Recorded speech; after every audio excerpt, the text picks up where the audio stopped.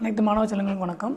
நம்ம மேல்நிலை முதலாம் ஆண்டு புள்ளியியல் பாடம் அத்தியாயம் டூவில் வந்து முதல் இரண்டு பகுதிகள் பார்த்துட்டோம். அதில் வந்து இரண்டாவது பகுதியில் நம்ம என்ன பார்த்துருந்தோம்னா முழுமை தொகுதியிலிருந்து எப்படி வந்து மாதிரியை வந்து நம்ம எடுக்கிறது எந்தெந்த மாதிரி எடுக்கலாம் அப்படிங்கிறத இங்கே பார்க்க போகிறோம் ஸோ இங்கே என்னென்ன மாதிரி நம்ம க எடுக்க போகிறோங்கிறத ஃபஸ்ட்டு நம்ம என்ன பார்க்க போகிறோம்னா நிகழ்த்தகவு மாதிரி கணிப்பு முறை. அப்படி நிகழ்த்தகவு அப்படின்னா என்ன? ஒரு நம்ம ஒரு நிகழ்ச்சி நடக்குது அப்படின்னா அதில் என்ன நம்ம ஒரு நிகழ்ச்சி நடக்கிறப்ப அது நடக்க எவ்வளோ வாய்ப்பு இருக்குது நடக்கிறதுக்கு? நடக்காமல் போகிறதுக்கு எவ்வளோ வாய்ப்பு இருக்குது அப்படிங்கிறத கால்குலேட் பண்ணுறதா நிகழ்தகவு காயினை சுண்டி விடுறோம் அப்படின்னா அது நம்ம த ஒரு காயினை சுண்டு விடும்போது தலைகள் விழுவதற்கான வாய்ப்பு என்ன அப்படின்னு பார்த்திங்கன்னா மொத்தம் எவ்வளோ இருக்கோ வந்து மொத்தம் உங்களுக்கு வந்து ரெண்டு வெளிப்பாடுகள் உள்ளன. அதாவது தலை ஒன்று பூ ஒன்று. அதில் நாம் என்ன கேட்குறோம்? தலை வேணும்னு கேட்குறோம். தலை எத்தனை இருக்குது ஒன்று. ஸோ அப்போ கிடைக்கும் வாய்ப்பு ஒன்று. வகுத்தல் மொத்தம் மொத்த வாய்ப்பு என்ன? ரெண்டு. அப்போ ஒன்று பை ரெண்டு. இதுதான் நிகழ்த்து இப் நிகழ்த்தகவாக நம்ம எப்படி மாதிரியாக எடுக்க மாதிரி எடுக்கிறது? அப்படிங்கிறத பார்க்க போகிறோம் நிகழ்த்தகவு மாதிரி கணிப்பு முறை. நிகழ்தகவு மாதிரி கணிப்பு முறை அல்லது வாய்ப்பு மாதிரி கணிப்பு முறை என்பது முழுமை தொகுதிகளில் உள்ள உறுப்புகளை வாய்ப்பு முறையில் தேர்ந்தெடுத்து மாதிரி அமைக்கும் முறையாகும்.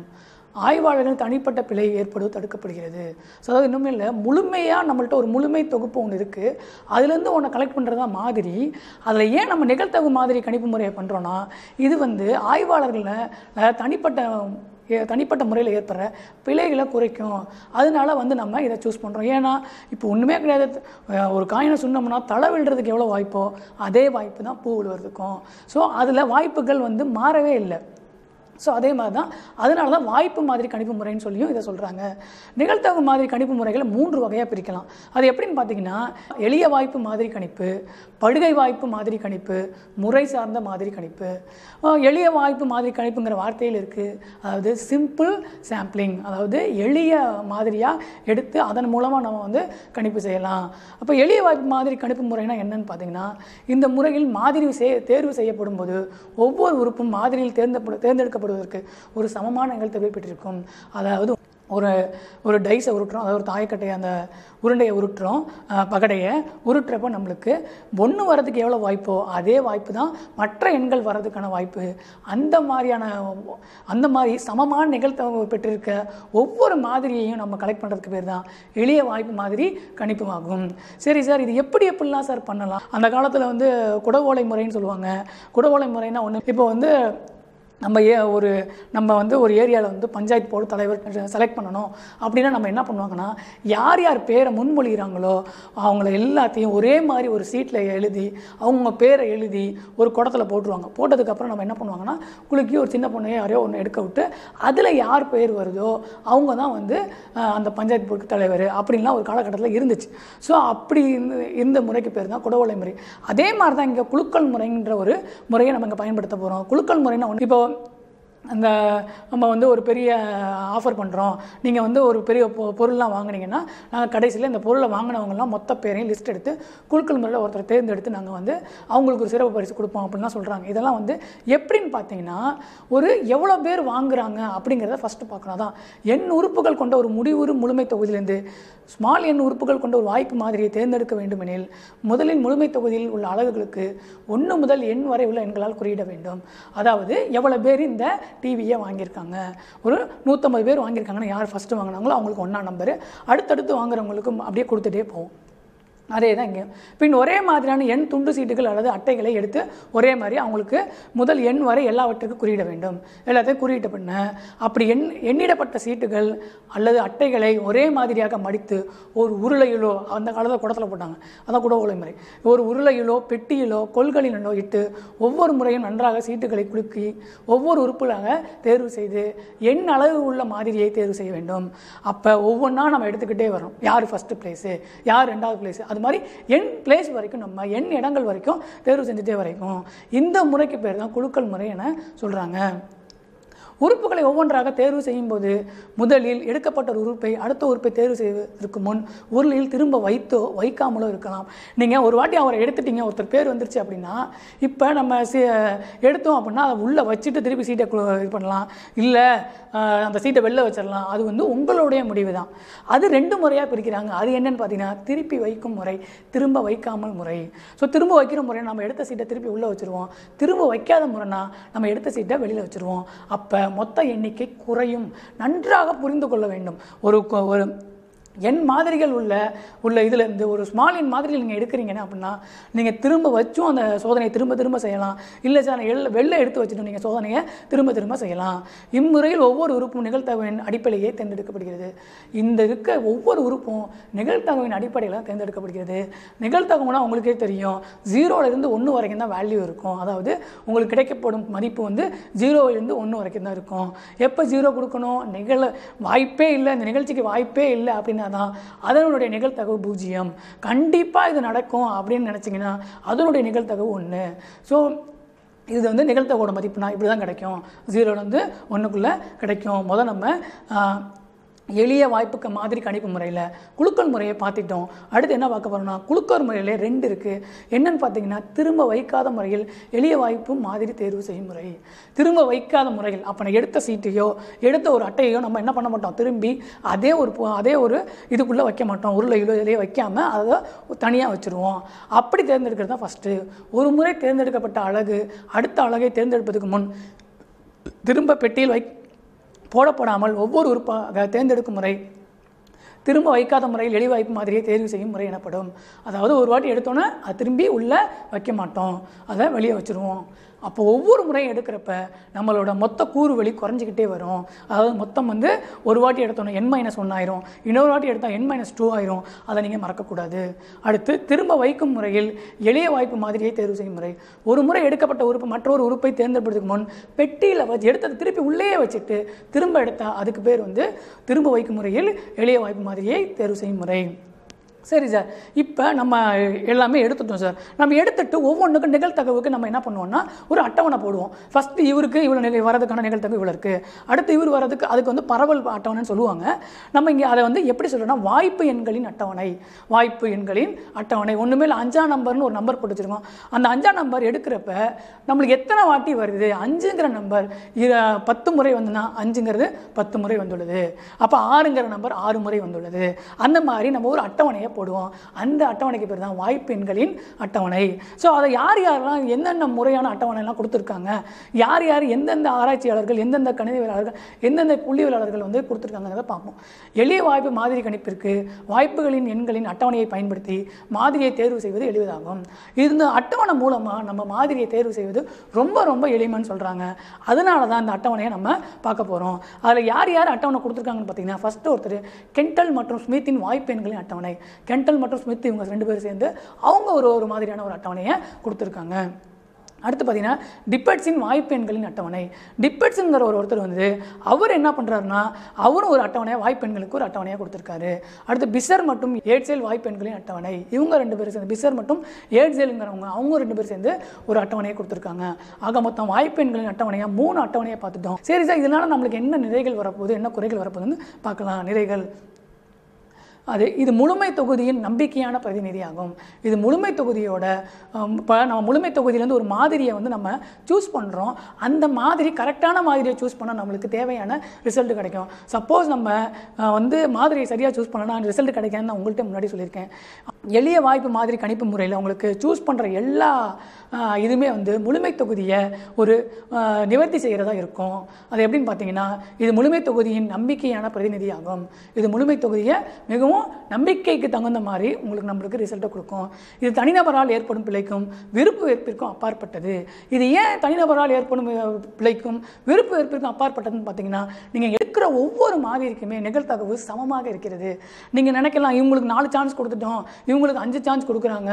நான் எனக்கு வந்து நாலு சான்ஸ் தான் கொடுத்தாங்கன்ற இந்த கம்ப்ளைண்ட் எதுவுமே கிடையாது. இவங்களுக்கு எவ்வளோ வாய்ப்போ அதே வாய்ப்பு தான் மற்ற எல்லாத்துக்கும். அதனால வந்து இதனால் ஏற்படுற பிழைக்கும் விருப்பு வெறுப்பிற்கும் வாய்ப்பு இல்லாமல் பயன்படுது. இது பயன்படுத்துவதற்கு ஒரு எளிதான முறையாகும். ஆமாம் கண்டிப்பாக இதை பயன்படுத்துவதற்கு எளிதான முறையாகும். ஒன்றுமே இல்லை.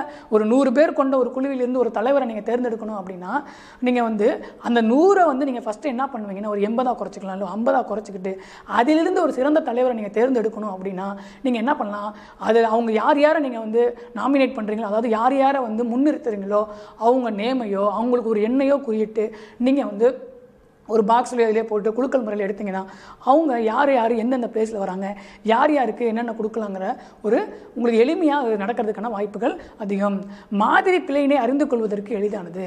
இதன் மூலமாக என்ன ஒரு இன்னொரு பயன்பாடு பார்த்தீங்கன்னா இதன் மூலமாக நம்ம என்ன பிழை பண்ணோம் என்ன தவறு செஞ்சோம் அப்படிங்கிறது நம்மளுக்கு தெள்ள தெளிவாக தெரிஞ்சிடும் அதுதான் வந்து எளிய வாய்ப்பு முறையோட மிக மிக தெளிவான ஒரு இதாகும். இதுக்கு மேலே பார்த்தீங்கன்னா இன்னும் நம்ம இன்னும் சொல்லணும்னா நிகழ்தகவுங்கிறனால கண்டிப்பாக நம்மளால் வந்து ஒரு ஒரு தொண்ணூறு சதவீதத்துக்கு மேலே ஒரு நல்ல முடிவை எடுக்க முடியும். அடுத்து வந்து பார்த்திங்கன்னா வரம்புகள். வரம்புகள். கண்டிப்பாக எந்த ஒரு மாதிரிக்கும் சில சில ரெஸ்ட்ரிக்ஷன்ஸ் இருக்கும். சில வரம்புகள் இருக்கும். இந்த இடத்துல தான் இதை யூஸ் பண்ணணும். இந்த இடத்துல இதை யூஸ் பண்ண முடியாதுங்கிற ஒரு கட்டுப்பாடு இருக்கும். அந்த மாதிரி என்னென்ன கட்டுப்பாடு இருக்குன்னு பார்த்தீங்கன்னா வரம்புகளில் அலகுகளின் மதிப்பு மிக அதிக அளவில் வித்தியாசப்பட்டிருப்பேன். இம்முறையில் பெறப்படும் மாதிரிகள் உண்மையான பிரதிநிதியாக இருப்பதில்லை. அதாவது நம்ம ஒவ்வொரு முறையும் ஒவ்வொரு மாதிரியையும் எடுத்து நம்ம எளிய வாய்ப்பு மாதிரியை யூஸ் பண்ணுறப்ப ஒவ்வொன்றுக்கும் நிகழ்த்தவு கிடச்சிக்கும். அந்த நிகழ்த்தகவு அதிக அளவில் வித்தியாசமாக இருந்துச்சுன்னா இதன் மூலமாக நம்மளுக்கு ஒரு நல்ல முடிவு கிடைக்க போகிறது கிடையாது.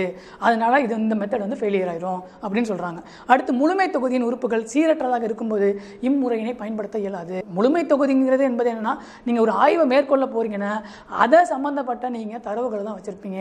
அந்த தரவுகள் எப்படி இருக்கணும் உங்களுக்கு? நீங்கள் எந்த நோக்கத்திற்காக போகிறீங்களோ அதை பூர்த்தி செய்கிற மாதிரி தரவுகள் இருக்கணும். அது சம்பந்தம் உள்ள ஒன்றுக்கொன்று சம்பந்தம் உள்ள தரவுகளாக இருக்கணும். அதாவது சம்பந்தம் இல்லாத தரவுகளாக இருந்துச்சுன்னா அதாவது அதிக இடைவெளி இருப்பின் தேர்ந்தெடுக்கப்பட்ட உறுப்புகளின் மதிப்புகள் அதிக இடைவெளி இருப்பின் இம்மாதிரியின் மதிப்புகளை கொண்டு மதிப்பீடு செய்வது கடினமாகும். அதாவது ஒவ்வொரு மா நிகழ்த்தவுக்கும் வித்தியாசம் அதிகமாக இருந்துச்சுன்னா இதன் மூலமாக நம்ம வந்து மதிப்பீடு செய்வது மிக மிக கடினமாகும். சரி சார் இதுலேருந்து நீங்கள் ஒரு ஜென்ரலாக ஒரு கருத்து சொல்லுங்கள் எனக்கு எளிய வாய்ப்பு மாதிரி கணிப்பு முறையிலேருந்து ஒரு கருத்து சொல்லுங்கள் அப்படின்னு சொல்கிறாங்கன்னா எளிய வாய்ப்பு மாதிரி கணிப்பு முறையானது முழுமை தொகுதியானது சீரானதாக இருக்கும்போதே மிகவும் சரியான முறையாக இருக்கும். அப்போ தெளிவான ஒரு கருத்து இங்கே வந்துருச்சு. என்னன்னு பார்த்தீங்கன்னா எளிய வாய்ப்பு மாதிரி கணிக்கும் முறை நீங்கள் எங்கே பயன்படுத்தணும்னா முழுமை தொகுதி வந்து சீரானதாக இருக்கும்போது மட்டும்தான் நீங்கள் பயன்படுத்தணும். இல்லைன்னா நீங்கள் எளிய வாய்ப்பு மாதிரி கணிப்பு முறையை பயன்படுத்தினீங்கன்னா அது வந்து ரிசல்ட் கரெக்டாக கொடுக்காது மாறாக முழுமை தொகை சீரற்றதாக இருக்கும்போது படுகை மா முறை மாதிரி கணிப்பு முறையை தான் நீங்கள் பயன் பயன்படுத்தணும். அப்போ படுகை முறை மாதிரி கணிப்புனா என்ன சார்? அதை பற்றி தான் நம்ம பின்னாடி பார்க்க போகிறோம் ஸோ படுகை முறை மாதிரி கணிப்பு வந்து என்னன்னு பார்த்தீங்கன்னா அதை வந்து ஸ்டாட்டிஃபைட் ரேண்டம் சாம்பிளிங் சொல்லுவாங்க. அதாவது நம்ம கொடுக்க போகிற அதாவது ஒவ்வொரு சாய்ஸையும் ஒவ்வொரு சான்ஸையும் படுக்கையாக கொடுத்துருவோம் நம்ம. அதாவது அளவு இப்போ ஒரு ஒரு ஒரு ஒரு ஒரு நிகழ்ச்சி நடக்க போது அதற்கான வாய்ப்புகளை என் வாய்ப்புகள் இருக்குது அப்படின்னா அதை ஒரு வந்து படுகை ஒன்றுலையும் அடுத்து படுகை ரெண்டுலையும் படுகை மூணு அப்படின்னு நம்ம அப்படியே படுகையாக கொடுத்துக்கிட்டே போகலாம். ஸோ இதன் மூலமாக நம்ம எப்படி செய்கிறோங்கிறத பார்க்கலாம். இம்முறையில் எண் உறுப்புகள் கொண்ட முழுமை தொகுதி சீரற்றதாக இருக்கும். அதாவது சீரற்றதாக இருக்கும்னா படுகை ஒன்றோட அளவு வந்து வேறையாக இருக்கும். படுகை ரெண்டோட அளவு வேறையாக இருக்கும். அதனால வந்து நம்ம இதை வந்து எளிய வா- வாய்ப்பு மாதிரி கணிப்பு முறையில் இதை பயன்படுத்த முடியாது. எளிய வாய்ப்பு மாதிரி கணிப்பு முறைங்கிறது எப்படி இருக்கும்னு பார்த்தீங்கன்னா ஒவ்வொரு மா- மாதிரியும் சமமான நிகழ்த்தகவை பெற்றிருக்கும். ஆனால் படுகை முறை மாதிரி கணிப்பில் வந்து ஒவ்வொன்றும் வேறு வேறையாக இருக்கும். இப்போ பார்த்தீங்கன்னா இம்முறை எண் உறுப்புகள் கொண்ட முழுமை தொகுதி சீரற்றதாக இருக்கும்போது பொதுவான உறுப்புகள் அல்லாத சீரான எல் துணை முழு தொகுதிகளாக பிரிக்கப்படுகிறது. அதாவது ரெண்டு எல்லாத்துக்கும் காமனே எதுவுமே இருக்காது. இப்போ படுகை ஒன்றுக்கும் படுகை டூக்கும் காமன் எதுவும் இருக்காது. ஆ, இவைகை படுகைகள் எனப்படும். மேலும் ஐயாவது படுகையின் உறுப்புகளின் எண்ணிக்கை எண்ணெய் என்றும் அப்படியே போய்கிட்டே இருந்துச்சுன்னா அதை எல்லாத்தையும் நீங்கள் கூட்டினீங்கன்னா மொத்தம் கிடச்சிரும் உங்களுக்கு. அதுதான் மொத்த முழுமை தொகுதியோட மொத்த எண்ணிக்கை ஆகும் அடுத்து இதை வந்து என் ஒன் என் டூ அப்படின்னு பிரிக்கிறோம் நம்ம படுகையாக அடுத்து பார்த்தீங்கன்னா ஒரு மாதிரியை வந்து ஐயாவது படுகையிலிருந்து சார்பற்ற வகையில் எளிய வாய்ப்பு மாதிரி கணிப்பு முறையில் எடுக்கப்படுகிறது. நீங்கள் ஏன் இதை வந்து எளிய வாய்ப்பு மாதிரியை யூஸ் டைரெக்டாக யூஸ் பண்ண முடியல உங்களால் அப்படின்னா நீங்கள் படுகையை தனித்தனியாக பிரிச்சுக்கிறீங்க. ஏன் இங்கே எளிய வாய்ப்பு க கணித மாதிரி யூஸ் பண்ண முடியலன்னா ஒவ்வொரு மாதிரிக்கும் உறுப்புகள் வெவ்வேறு எண்ணிக்கையில் இருக்குது. அதனால் நீங்கள் வந்து எப்படி பிரிச்சுக்கிறீங்கன்னா சின்ன சின்ன சாம்பிளிங்காக பிரிச்சுக்கிறீங்க. சின்ன சின்ன மாதிரியாக பிரித்து ஒவ்வொரு மாதிரிக்கும் நீங்கள் வந்து எளிய வாய்ப்பு மாதிரி கணிப்பு முறையை பயன்படுத்துகிறீங்க ஸோ அப்போ பார்த்தீங்கன்னா அதை வந்து நம்ம வந்து ஒரு சார்ட் மாதிரி போட்டு கொடுத்துருக்கோம். ஒரு வரைபடம் மூலமாக அதை நல்லா பாருங்கள் சீரற்ற முழுமை தொகுதி. அதாவது சீரற்றதாக இருக்குது அதை சீரானதாக முதல் நம்ம மாற்ற போகிறோம் அது எப்படின்னு பார்த்தீங்கன்னா சீரான முழுமை தொகுதி படுகை அதை எப்படி ஒவ்வொரு படுகையாக பிரிங்க? படுகை ஒன் அளவு வந்து என் ஒன்று அடுத்து படுகை ரெண்டு அளவு வந்து என் டூ அடுத்து இதே மாதிரி நீங்கள் போய்கிட்டே இருந்தீங்கன்னா படுகை ஆறு அப்படி எல் வரைக்கும் போய்கிட்டே இருக்கும். படுகை மாதிரியின் அளவுகள் என்னென்ன அளவுகள் இருக்குன்னு பார்த்தீங்கன்னா இப்போ ஃபஸ்ட்டு படுகையில் வந்து ஒரு பத்து இருக்கலாம். ரெண்டாவது படுகையில் ஒரு முப்பத்தஞ்சு இருக்கலாம். மூன்றாவது படுகையில் வந்து ஒரு அறுபது இருக்கலாம். இது மாதிரி ஒவ்வொரு படுகைக்கும் மொத்த எண்ணிக்கையும் மாறிக்கிட்டே போவோம் அதை வந்து குறிக்கிறதுக்காக small N one N two அப்படின்னு வச்சுக்கோங்க. சரி இம்முறையில் தேர்ந்தெடுக்கப்பட்ட ஒரு மாதிரி படுகை முறையில் தேர்ந்தெடுக்கப்பட்ட வாய்ப்பு மாதிரி எனப்படும். இந்த மாதிரி நீங்கள் தே தேர்வு பண்ணிங்கன்னா அதுக்கு பேர் வந்து படுகை முறையில் தேர்ந்தெடுக்கப்பட்ட வாய்ப்பு மாதிரி எனப்படும். ஒவ்வொரு படுகையிலும் மாதிரி அளவை தீர்மானிப்பதில் இரு வகைகள் உள்ளன. அவன் வந்து எப்படின்னு பார்த்தீங்கன்னா ரெண்டு வகையாக நீங்கள் வந்து அளவை தீர்மானிக்கலாம். ஒன்று வந்து ப்ரொப்போஷனல் மெத்தட் விகிதாசார அளவில். இன்னொரு மெத்தட் என்னென்னு பார்த்தீங்கன்னா ஆப்டிமம் மெத்தட் உகந்த அளவில் உறுப்புகளை சேர்க்கிறது. இவ்வளோ போதும்பா எனக்கு? அப்படின்ற மாதிரிலாம் சேர்க்கிறது. ஸோ ரெண்டு வகையாக பார்த்துட்டோம். சரி சார் இது மாதிரியின் அளவை எப்படி சார் நான் கணக்கிடுறது? இந்த முறையில் நான் எடுக்கிறேன் அப்படின்னா இந்த மாதிரியிலேருந்து நான் எப்படி வந்து அளவை கணக்கிடுறதுனா அதுக்கு நம்மளுக்கு முக்கியமாக ஒரு ஃபார்முலா கொடுத்துருக்காங்க. என்னென்னு பார்த்தீங்கன்னா small N I equal to small எண்ணுங்கிறது என்னது? நம்ம படுகையோட உள்ள மொத்த மாதிரிகளோட எண்ணிக்கை. இப்போ small N I equal to small N by capital L into capital N I என்ற விதிமுறையின்படி பெறப்படுகிறது. உகந்த ஒதுக்கீடு முறையானது படுகையில் உள்ள வித்தியாசம் மற்றும் செலவு இவைகளால் மாதிரி அளவு எண்ணெய் தீர்மானிக்கப்படுகிறது. அதாவது உகந்த ஒதுக்கீடு முறை அதாவது ரெண்டு முறையாக நம்ம பார்க்குறோம் ஒன்று வந்து ப்ரொபோஷனல் மெத்தடு இன்னொன்று வந்து ஆப்டிமம் மெத்தடு அதில் ஆப்டிமம் மெத்தடுங்கிற உகந்த அளவில் வந்து நம்ம கண்டுபிடிக்க உகந்த அளவு கண்டுபிடிக்கணும்னா அதுக்கு இதுக்கான ஃபார்முலா இதுதான். இப்போ எடுத்துக்காட்டு அதுக்கு பார்ப்போம். எடுத்துக்காட்டு பார்க்கறது மூலமாக உங்களுக்கு ஒரு தெளிவான விளக்கம் கிடைக்கும். ஒரு போட்டித் தேர்வின் அறிமுகத்தை பற்றிய ஒரு ஆய்வுக்காக மூன்று பள்ளிகளில் பயிலும் மாணவர்களிடம் வந்து கருத்துக்கள் பெறப்பட்டன. ஒரு போட்டித் தேர்வுக்கு அவங்கள அனுப்ப போகிறீங்க அதனால் ஒரு மூணு ஸ்கூலை சூஸ் பண்ணியிருக்கீங்க அதிலிருந்து எத்தனை மாணவர்களை செலக்ட் பண்ணி அனுப்ப போகிறீங்க அப்படிங்கிறது தான் உங்களோட கருத்து. அப்போ பள்ளியில் உள்ள மாணவர்கள் எண்ணிக்கை என்ன? ரெண்டாயிரம். முதல் பள்ளியில் அடுத்த பள்ளியில் ரெண்டாயிரத்து ஐநூறு. அடுத்த பள்ளியில் நானூறு நாலாயிரம். மாதிரியின் அளவு எவ்வளோ நீங்கள் சூஸ் பண்ணணும் அப்படின்னா நூற்றி எழுபது பேர்த்த சூஸ் பண்ணணும். இந்த மூணு ஸ்கூலையும் சேர்த்து நீங்கள் நூற்றி எழுபது பேரை சூஸ் பண்ணணும். அப்போ ஒவ்வொரு பள்ளியிலேருந்து எவ்வளோ பேர்த்த நீங்கள் தேர்ந்தெடுக்கலாங்கிறது தான் உங்களோட கணக்கு. சரி மொத்தம் இங்கே முழுமை தொகுதியாக கொடுக்கப்பட்டது முழுமை தொகுதியில் எவ்வளோ இருக்குன்னு பார்ப்போம். கேபிட்டல் என்னங்கிறது முழுமை தொகுதியின் அளவு. அப்போ முழுமை தொகுதி எல்லாத்தையும் கூட்டுங்க. ரெண்டாயிரம் ப்ளஸ் ரெண்டாயிரத்தி ஐநூறு ப்ளஸ் நாலாயிரம். கூட்டினீங்கன்னா எட்டாயிரத்தி ஐநூறு.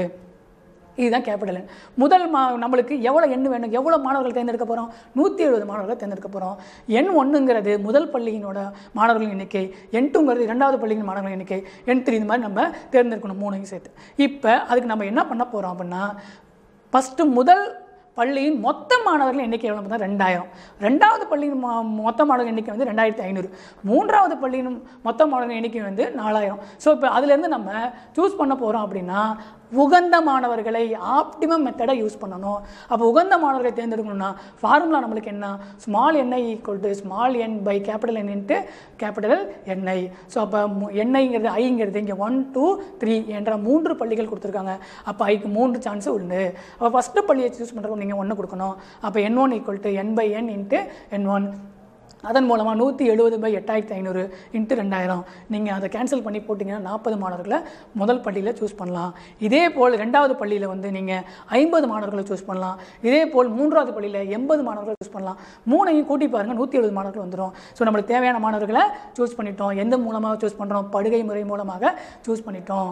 ஸோ இது மாதிரி நம்ம கணக்குகளை பயன்படுத்தும் போது தான் அந்த முறையோட தெளிவான நோக்கங்கள் நம்மளுக்கு புரியும். இப்போ படுகை முறையின் நோக்கம்.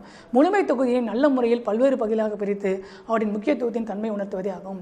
இப்போ நம்ம எளிய வாய்ப்பு க மாதிரி கணிப்பை நம்மளால் பயன்படுத்த முடியல. அதனால தான் படுகை முறைக்கு போகிறோம் படுகை முறை என்ன பண்ணுதுன்னா முழுமையை சீரற்ற சீரற்றதாக இருக்கிற முழுமை தொகுதியை சீரானதாக மாற்றுது அதுக்கு தான் இது ரொம்ப ரொம்ப முக்கியம் அப்படிங்கிறாங்க.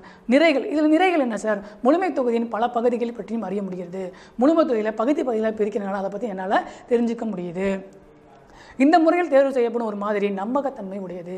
இதன் மூலமாக ஒரு மாதிரி நம்ம செய்யணுமா தேர்வு செய்கிறது எளிய வாய்ப்பு மாதிரியை விட இது கொஞ்சம் நம்பகத்தன்மை ஜாஸ்தியாக இருக்கும். பல படுகையிலிருந்து முழுமை தொகுதியின் பிரதிநிதிகள் உள்ளன. பல படுகையிலிருந்து முழுமை தொகுதியின் பிரதிநிதிகள் உள்ளன. அதனால் பல பிரதிநிதிகள் அப்போ எவ்வளோ படுகை நீங்கள் வச்சுருக்கீங்களோ அவ்வளோ படுகையிலையும் பிரதிநிதிகளை நம்ம சூஸ் பண்ணிக்கலாம். பிழை பெரிதும் தவிர்க்கப்படுகிறது குறைக்கப்படுகிறது மிக அதிக அளவில் துல்லியமானது. நம்ம எடுத்துக்கிட்டது உகந்த மாணவர்களை எடுத்து பயன்படுத்துகிற ஃபார்முலாங்கிறனால நம்மளுக்கு துல்லியமாக கிடச்சிரும். அடுத்த வரம்புகள். அதே மாதிரி சரியான முறையில் படுகைகள் பிரிக்கப்படுவது தவறுகள் நிகழ வாய்ப்பு இருப்பதால் துல்லியமான முடிவை இழக்க வாய்ப்பு இருக்குது நீங்கள் படுகையை சரியாக பிரிக்கலைன்னா கண்டிப்பாக தப்பு வருங்கிறாங்க. அடுத்து விகிதாசார படுகை முறையில் முழுமை தொகுதியில் ஒவ்வொரு படுகையின் விகிதத்தை பற்றிய துல்லியமான தகவல் தெரிந்திருக்க வேண்டிய வேண்டும் அடுத்த மாதிரி மூன்றாவது மாதிரி என்னன்னு பார்த்தீங்கன்னா முறை சார்ந்த மாதிரி கணிப்பு முறை சிஸ்டமேட்டிக் சாம்பிளிங் சிஸ்டமேட்டிக்காக இவனுக்கு அடுத்து இவன் தான்ப்பா வரணும் இவனுக்கு அடுத்து இவன் தான்ப்பா இருக்கணும் அப்படிங்கிறது தான் சிஸ்டமேட்டிக் சாம்பிளிங் ஸோ இந்த சிஸ்டமேட்டிக் சாம்பிளிங் மூலமாக தான் நம்ம கரெக்டான ஒரு ஏறு வரிசையில் அமைக்க முடியும். அது என்னன்னு பார்த்துருவோம். இம்முறையில் முழுமை தொகையில் உள்ள உறுப்புகளுக்கு ஒன்று முதல் எண் வரை ஏறு வரிசையில் கணக்கிடப்படுது. பார்த்தீங்களா? ஃபஸ்ட்டு எடுத்தோடனே ஏறு வரிசையில் கணக்கிடுறோம். அதாவது இம்முறையில் உறுப்புகளுக்கு முழுமை தொகையில் உறுப்புகளுக்கு ஒன்றுனா அவன் என்ன என்ன முறைக்காக நீங்கள் வந்து ஒன்று ரெண்டு கொடுக்குறீங்களோ அதில் எவன் ஜாஸ்தியாக இருக்கணும் அவனுக்கு தான் ஒன்று அப்படியே நீங்கள் வரிசையாக ஏறு வரிசையில் நம்பர் கொடுத்துட்டே வரணும். அடுத்து ஒரு எண் உறுப்புகள் கொண்ட ஒரு மாதிரியை தேர்வு செய்வதற்கு என்ன ஃபார்முலாவை நீங்கள் பயன்படுத்தணும்னு பார்த்தீங்கன்னா கேங்கிற ஒரு ஃபார்முலா இருக்குது அது என்னென்னு பார்த்தீங்கன்னா டோட்டல் கேபிட்டல் எண்ணையும் நம்ம எவ்வளோ மாதிரிகள் எடுக்க போகிறோமோ அதையும் வகுக்க வேண்டும். அதாவது கேபிட்டல் என் பை ஸ்மால் என உள்ளவாறு கே உறுப்புகள் கொண்ட என் மைனஸ் ஒன் மாதிரி இடைவெளிகள் பெறப்படுகிறது. அதாவது நீங்கள் முதல் ரோவை ஃபில் பண்ணுறப்ப அங்கே வந்து நீங்கள் ஒன் மைனஸ் ஒன் ஜீரோங்கிற அதாவது அங்கே வந்து என்னென்னா கேவை கண்டு யூஸ் பண்ண போகிறதில்ல மாதிரி இடைவெளி டூக்கு அப்புறம் தான் கேவோட மதிப்பு உங்களுக்கு தெரிய ஆரம்பிக்கும் கேவோட மதிப்பை பயன்படுத்துகிற மாதிரி இருக்கும். அது நீங்கள் வந்து பின்னோரும் டேபிளில் பார்க்கலாம். டேபிளில் எப்படின்னு பாருங்கள் இம்முறையில் பெறப்படும் மாதிரிக்கான வரைபடம். மாதிரி இடைவெளி ஒன் மாதிரி இடைவெளியை நீங்கள் பிரிச்சுக்கிறீங்க. ஒன்று ரெண்டு மூணு நாலு அப்படின்னு கே அளவுக்கு பிரிச்சுக்கிறீங்க. மாதிரி இடைவெளி ரெண்டு. எப்படி சார் இப்போ கே வந்து நீங்கள் பத்துன்னு வச்சுக்கோங்க. அப்போ இங்கே என்ன வந்துடும் பதினொன்று பன்னெண்டு பதிமூணு பதினாலு அப்படி வந்துடும் இங்கே இருபதில் முடிஞ்சிடும் அதே மாதிரி ஒவ்வொன்றையும் நீங்கள் கூட்டி பண்ணிக்கிட்டே போகலாம் ஸோ போகிறப்ப நீங்கள் ஒரு டேபிள் உங்களுக்கு நீட்டாக புரிகிற மாதிரி இருக்குது பாருங்கள் ஒன்றில் ஆரம்பிச்சிங்க மொத்தம் எவ்வளோ மாதிரி இடைவெளி இருக்கோ அந்த அளவுக்கு நீங்கள் எண்களை வரிசைப்படுத்திக்கலாம். கண்டிப்பாக ஏறு வரிசையில் இருக்க வேண்டும். ஆகவே இம்முறையில் முதல் உறுப்பு தேர்வு செய் தேர்வு செய்யப்பட்டவுடன் மாதிரியின் மற்ற உறுப்புகள் தானாகவே தீர்மானிக்கப்படுகிறது. அதாவது ஸ்டார்டிங் பாயிண்ட் மட்டும் தான் நீங்கள் ஃபிக்ஸ் பண்ணுறீங்க ஒன்று அதுக்கப்புறம் நீங்கள் அதோட வரைமுறைக்கு தகுந்த மாதிரி நீங்கள் எண்ணிக்கையை கொடுத்துக்கிட்டே போகலாம் அதான் சொல்லியிருக்காங்க. கே உறுப்புகளில் ஏதாவது ஒரு முதல் உறுப்பு முதல் இடைவெளியில் கே உறுப்புகளில் ஏதாவது ஒரு உறுப்பாக இருக்கலாம் ஆதலால் இம்முறையானது கே முறை சார்ந்த மாதிரிகளை சம நிகழ்த்தகு வாய்ப்புలను உருவாக்குகிறோம். அதாவது எல்லாத்துக்கும் சமமான ப்ராபபிலிட்டி இருக்க மாதிரி கிரியேட் பண்ணுறோம் அப்படிங்கிறத பார்த்துக்கலாம். குறிப்பு இம்முறையில் எடுக்கப்பட்ட மாதிரியை பகுதி வாய்ப்பு மாதிரி என அழைக்கிறோம். இதை வந்து இன்னொரு பேர் சொன்னால் பகுதி வாய்ப்பு மாதிரியான கூறுகிறோம். ஏனெனில் முதல் உறுப்பு மட்டுமே வாய்ப்பு முறையில் தேர்ந்தெடுக்கப்படுகிறது. மற்ற உறுப்புகள் வாய்ப்பு முறையில் தேர்ந்தெடுக்கப்படவில்லை. ஃபஸ்ட்டு உறுப்பு மட்டும்தான் சாய்ஸு மற்ற எல்லாமே அதுக்கடுத்து வரிசையாக நாம் அதாவே தானாகவே வந்து ஏறு வரிசையில் நம்பர் கொடுத்துட்டு போகிறோம் ஸோ அதனால் முதல் வாய்ப்பு மட்டும்தான் வாய்ப்பு முறையில் தேர்ந்தெடுக்கப்படுகிறது. மற்ற எதுவும் வாய்ப்பு முறையில் தேர்ந்தெடுக்க முடியவில்லை. அதை நாங்கள் நல்லா நான் வச்சுக்கணும். ஸோ இது ரொம்ப ரொம்ப ரொம்ப இம்பார்ட்டன்ட் என்ன முறைன்னு பார்த்தீங்கன்னா முறை சார்ந்த மாதிரி கணிப்பு முறை. அதாவது முத முத நீங்கள் கொடுக்கறதுக்கு மட்டும்தான் வாய்ப்பு. மற்ற எல்லாமே நம்ம பின்னு பின்வரும் நான் பின்னாடி வர எல்லா நம்பருமே நம்ம வாய்ப்பு மாதிரி வாய்ப்பு முறையில் தேர்ந்தெடுக்கப்படல. சரி இதில் இதில் என்ன சார் நிறைகள்? இம்முறையானது எளிதானது மற்றும் வசதியானது? ஈஸியாக பண்ணிடலாம் நம்மளுக்கு வசதியும் ஜாஸ்தி. குறைந்த நேரம் தான் நம்மளுக்கு தேவை. மற்ற முறை மாதிரி நம்மளுக்கு அதிக நேரம் தேவையில்லை. இது முடிவுறா முழுமை தொகுதிக்கும் பயன்படுத்தக்கூடியதாகும். நல்லா பார்த்துக்கங்க. படுகை முறையும் எளிய வாய்ப்பு மாதிரி கணிப்பு முறையும் மு- முடிவுறா முழுமை தொகுதிக்கு பயன்படுத்த முடியாது. ஆனால் இந்த முறை சார்ந்த வாய்ப்பு கணித மாதிரி வந்து நீங்கள் வந்து முடிவுறா முழுமை தொகுதிக்கும் பயன்படுத்தக்கூடியதாகும். நீங்கள் இன்ஃபைனைட் சாம்பிள் ஸ்பேஸ் வச்சிருந்தாலும் இதை வச்சு நீங்கள் போடலாம். வரம்புகள் இது ஒரு பகுதி வாய்ப்பு மாதிரியாக இருப்பதால் முழுமை தொகுதி ஒரு பிரதிநிதியாக மாதிரி இருக்க முடியாது. இது ஒரு பகுதி வாய்ப்பு. ஒரு ஒரு பகுதி மட்டும் தான் நீங்கள் சாய்ஸாக சொல்கிறீங்க வாய்ப்பு மாதிரி. மற்றதெல்லாம் வந்து தானாகவே நம்பர் கொடுத்துட்டு வந்துடுது அதனால் இந்த ஒரு முழுமை வாய்ப்பு பிரதிநிதியாக இருக்க வாய்ப்பே கிடையாது. அடுத்து வந்து பார்த்தீங்கன்னா இதுக்கு ஒரு எடுத்துக்காட்டு என்னன்னு பார்த்தீங்கன்னா மாதிரி அளவு எண் வந்து பத்து உள்ள ஒரு முறை சார்ந்த வாய்ப்பு மாதிரி முழுமை தொகுதி அளவு எண் இரநூறு உள்ள ஒரு முழுமை தொகுதியிலிருந்து தேர்ந்தெடுக்கப்பட வேண்டும். அதாவது ஒரு முழுமை தொகுதியில் இரநூறு நம்பர் இருக்குது அதில் நீங்கள் பத்து உள்ள ம- பத்து உள்ள பத்து மாதிரி உள்ள அளவுக்கு வா முறை சார்ந்த வாய்ப்பு மாதிரியை பயன்படுத்தி நீங்கள் தேர்ந்தெடுக்கிறீங்க. அப்படின்னா ஃபஸ்ட்டு கே எப்படி கண்டுபிடிப்பீங்க? கேவோட மதிப்பு என்ன? கே எப்படி கண்டுபிடிக்கலாம்? கே வந்து என் பை என் எண் என்னது? இரநூறு. அப்போ இரநூறுல வந்து நீங்கள் இரநூறுல பத்தால் வகுத்தீங்க. பத்தால் எத்தனை மாதிரி தேர்ந்தெடுக்கிறோம்? பத்து. அப்போ இரநூறு பை பத்து இருபது. அப்போ முதல் மாதிரி ஒன்றிலேருந்து இருபது வரை உள்ள எண்கள் இருக்கும். அப்போ ஒன்றுலேருந்து இருபதுக்குள்ளே நீங்கள் எந்த எழுத்தை வேணால் நீங்கள் எந்த எண்ணை வேணால் சூஸ் பண்ணிக்கலாம். சப்போஸ் நான் இங்கே வந்து ஏழுன்னு சூஸ் பண்ணியிருக்கேன் அப்போ அடுத்த மாதிரியை இருபது இருபதாக கூட்டிக் கொண்டே செல்ல வேண்டும். அப்போ இருபது கூட்டிங்கன்னா என்ன கிடைக்கும்? இருபத்தி ஏழு. அடுத்த இருபது கூட்டிங்கன்னா என்ன கிடைக்கும்? நாற்பத்தி ஏழு. அடுத்த இருபது கூட்டிங்கன்னா அறுபத்தி ஏழு எண்பத்தி ஏழு நூற்றி ஏழு. இப்படி போய்க்கொண்டே இருக்கும். கடைசியாக நூற்றி எண்பத்தேழு கிடைக்கும். ஸோ இப்போ பார்த்தீங்களா எவ்வளோ அழகாக ஈஸியாக சூஸ் பண்ணிட்டோம். கொடுத்துருக்கிறது இரநூறு முழுமை தொகுதியிலேருந்து ஒரு பத்து மாதிரியை சூஸ் பண்ண சொன்னாங்க. நீங்கள் எப்படி சூஸ் பண்ணீங்கன்னா ஒவ்வொன்றும் முதல் மாதிரியை முதல் இது மட்டும் தான் வாய்ப்பு மாதிரி. மற்றது எல்லாமே அந்த இடைவெளியை வச்சுக்கிறீங்க. முதல் வாய்ப்பு மாதிரி எப்படி தேர்ந்தெடுக்கிறீங்க? மொத்தமாக இரநூறு இருக்குது அதை பத்தால் வகுக்கிறீங்க. இருபது கிடைக்குது. நீங்கள் முதல் எண் வந்து ஒன்றுலேருந்து இருபதுக்குள்ளே நீங்கள் எந்த எண்ணை வேணால் சூஸ் பண்ணிக்கலாம். நீங்கள் வந்து எட்டுன்னு எடுத்துக்கிட்டிங்கன்னா இருபது இருபதாக கூட்டிகிட்டே போங்க. இருபத்தெட்டு நாற்பத்தெட்டு அறுபத்தெட்டுன்னு போவோம் இதே மாதிரி நீங்கள் மாணவர்கள் என்ன பண்ணலாம்னா ஒரு முந்நூறு மாதிரியிலேருந்து ஒரு இருபது மாதிரியை வந்து நான் தேர்ந்தெடுக்கணும்னா நீங்கள் முறை முறை சார்ந்த வாய்ப்பு மாதிரியை பயன்படுத்தலாம். இதன் மூலமாக நீங்கள் வந்து ஈஸியாக வந்து நீங்கள் மாதிரிகளை தேர்வு செய்யலாம். சரி சார் இதில் என்ன சார் பயன்பாடுகள்? மற்ற முறைகளோட இதில் என்ன பயன்பாடுகள்னு பார்த்தீங்கன்னா முறை சார்ந்த மாதிரி கணிப்பானது நெடுஞ்சாலையில் உள்ள மரங்களை பற்றிய விவரங்களை அறிதல் தொகுப்பு வீடுகளிலிருந்து விவரங்களை அறிதல் போன்ற சூழ்நிலைகளில் முக்கியமாக பயன்படுத்தப்படுகிறது. நீங்கள் வந்து பார்த்தீங்கன்னா இப்போ மரங்கள் குறைந்து விட்டது. முன்னாடி வந்து பார்த்தீங்கன்னா ஒவ்வொரு வரிசையாக புளிய மரம் இருந்துகிட்டே போகும். அப்போ முறை சார்ந்த மாதிரி கணிப்பானது முதல் நம் மரத்துக்கு நீங்கள் ஒன்றுன்னு பேர் கொடுத்துட்டீங்க அப்படின்னா மற்ற எல்லா மரங்களும் பார்த்தீங்கன்னா ஒன்று ரெண்டு மூணு அப்படின்னு அப்படியே முறையாகவே ஒரு ஏறு வரிசையில் இருக்கும். இது அங்கே பயன்படுது. தொழிற்சாலைகளில் பொருட்களை தயாரிக்கும் உபகரணங்கள் நல்ல முறையில் செயல்படுகின்றன என்பதை சோதிக்க எடுக்கப்படும் உறுப்புகளின் மாதிரிக்கு இம்முறை பெரிதும் பயன்படுத்தப்படுகிறது. அதாவது வாடிக்கையாளர்களை வந்து ம மனசை புரிஞ்சுக்கணும். அவங்க எப்படி நினைக்கிறாங்க அப்படின்னா நீங்கள் இந்த முறையை பயன்படுத்தலாம். ஒரு சந்தை மதிப்பீட்டாளர் ஒரு வணிக வளாகத்தில் நுழையும் ஒரு நபரை தன்னிச்சையாக தேர்ந்தெடுத்த பின் அவரை தொடக்க உறுப்பாக கொண்டு ஒவ்வொரு பத்தாவது நபரையும் மாதிரிகளாக தேர்ந்தெடுக்கலாம். ஒன்றுமே கிடையாது. ஒரு சூப்பர் மார்க்கெட் இருக்குது ஒருத்தவங்க வந்து ஒருத்தர் வந்து வா- வாங்கிட்டு ஒரு சாட்டிஸ்ஃபேக்ஷனாக வெளில போனாரா? அவங்கள்ட்ட வந்து நீங்கள் கருத்து கணிப்பு கேட்குறீங்க சார் இந்த ப்ராடக்ட் எப்படி சார் இருக்குது உங்கள்ட்ட இந்த ப்ராடக்ட் நீங்கள் பற்றி என்ன சொல்ல வரீங்க? அப்படிங்கிறீங்கன்னா அவரை வந்து ஃபஸ்ட்டாக வச்சுக்கிட்டு அடுத்து ஒரு பதினஞ்சு பேர் கழிச்சு இன்னொருத்தர்கிட்ட போய் அவர்கிட்ட போய் என்ன பண்ணலாம்னா அவர்கிட்ட போயிட்டு சார் இந்த ப்ராடக்ட் பற்றி நீங்கள் என்ன நினைக்கிறீங்க? அப்படியே ஒவ்வொரு பதினஞ்சு பதினஞ்சாக நீங்கள் இடைவெளி விட்டு விட்டு ஒவ்வொருத்தர்ட்டையும் நீங்கள் வந்து என்ன பண்ணலாம்னா சூஸ் பண்ணி நீங்கள் கேட்டுக்கலாம். என்ன பார்த்தோன்னா ஒரு நான்கு முறைகள் பார்த்தோம். அந்த நான்கு முறைக்கும் தலைப்பு என்னன்னு பார்த்தீங்கன்னா நிகழ்த்தகவு வாய்ப்பு மாதிரி. நிகழ்த்தகு வாய்ப்பு மாதிரியில் யார் யாரை பார்த்தோம்னா நிகழ்த்தகு மாதிரி கணிப்பு முறையில் யார் யாரை பார்த்தோம்னா எளிய வாய்ப்பு மாதிரி கணிப்பு படுகை வாய்ப்பு மாதிரி கணிப்பு முறை சார்ந்த மாதிரி கணிப்பு. இது மூணுக்குமான ஒரு சின்ன வித்தியாசம் சொல்லிடுறதுனால நான் வச்சுங்க. எளிய வாய்ப்பு மாதிரி கணிப்புங்கிறது ஒன்றுமே இல்லை. நம்மளா ஒரு சிம்பிள் சாம்பிளிங் எடுத்து டெஸ்ட் பண்ணுறது அதாவது ஷூ கம்பெனி எடுத்துக்கிட்டிங்கன்னா ஐம்பது ஷூவை எடுத்துக்கிட்டு நீங்கள் என்ன பண்ணலாம்னா அதை செக் பண்ணலாம். அதை வந்து நீங்கள் எப்படி செக் பண்ணலாம்னா எளிய வாய்ப்பு மாதிரி கணிப்பு முறை மூலமாக செக் பண்ணலாம். படுகை வாய்ப்பு மாதிரி கணிப்புங்கிறது இந்த மாதிரி ஐம்பது ஷூக்கும் பண்ணலாம். நீங்கள் முடிவுறா தொகுதிக்கும் நீங்கள் பண்ணலாம். முடிவுறா தொகுதினா ஒன்றுமே கிடையாது. சாரி முடிவுறா தொகுதிக்கு படுகை வாய்ப்பு மாதிரியாக பண்ண முடியாது. அங்கேயும் முடிவுறு தொகுதிக்கு தான் பண்ண முடியும். எப்போ முடிவுறா தொகுதி பண்ண முடியும்னு பார்த்தீங்கன்னா முறை சார்ந்த மாதிரி கணிப்புக்கு பண்ணலாம். அதுக்கப்புறம் பார்த்தீங்கன்னா படிகை வாய்ப்பு மாதிரி கணிப்பு வந்து இவங்க இப்போ நடத்துனதுலேயே ரொம்ப ரொம்ப முக்கியமான வாய்ப்பு. க- ஏன்னு சொன்னீங்கன்னா முழுமை தொகுதி சீரற்றதாக இருக்கும் போதும் நம்ம யாரை தான் பயன்படுத்துகிறோம்னு பார்த்தீங்கன்னா படுகை வாய்ப்பு மாதிரி கணிப்பை தான் பயன்படுத்துகிறோம் ஆனால் முழுமை தொகுதி சீரற்றதாக இல்லைன்னா நம்ம எளிய வாய்ப்பு மாதிரி கணிப்பை பயன்படுத்தவே முடியாது. படுகை வாய்ப்பு மாதிரி கணிப்பை பயன்படுத்திட்டு தான் அதை சீரற்ற முழுமை தொகு சீரான முழுமை தொகுதியாக மாற்றிட்டு அப்புறம் தான் நம்மளால் எளிய வாய்ப்பு மாதிரி கணிப்பு முறைக்கு வர முடியும். மூன்று முறைக்கும் உள்ள வித்தியாசம் என்னன்னு பார்த்தீங்கன்னா எளிய வாய்ப்பு மாதிரி கணிப்பு முறைங்கிறது குலுக்கல் முறையில் தேர்ந்தெடுக்கிறது.